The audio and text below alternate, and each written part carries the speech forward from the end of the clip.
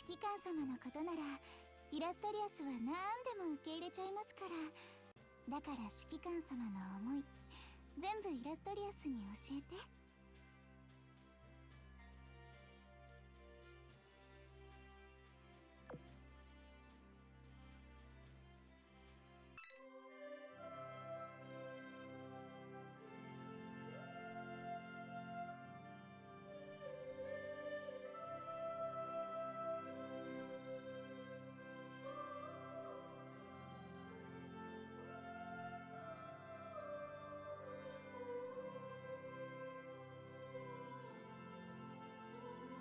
光はまんべんなく注ぐものですけど